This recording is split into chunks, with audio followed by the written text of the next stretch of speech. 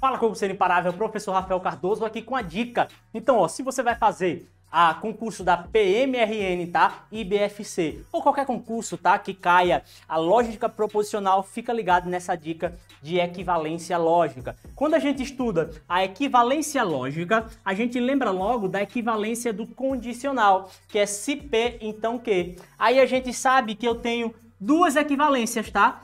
A nega-nega, troca-troca, que é negar ambas, tá? E trocar de lado se eu só negar e não trocar, tá? Mantendo conectivo não é equivalência. Isso é pegadinha de muitas bancas, tá? Ele nega as duas nas alternativas, mas não troca de lado. Então não é equivalência, tá errado.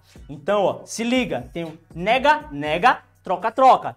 E eu também tenho a nossa equivalência conhecida como Neymar, tá?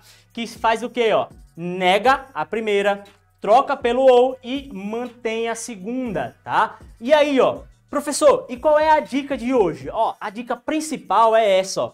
O que as bancas estão cobrando muito, a IBFC sempre faz, é assim, ó. Coloca no teu enunciado essa proposição aqui, ó. Uma proposição, tá? Da disjunção aqui. E aí ela pede equivalência. Normalmente a gente não estuda a equivalência do ou. Professor, qual é a equivalência do ou?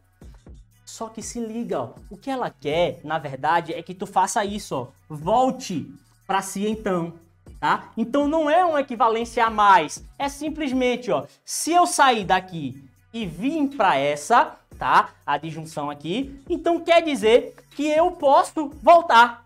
Como assim, ó?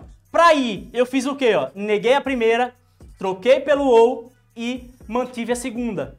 Se eu quiser voltar, eu faço o quê?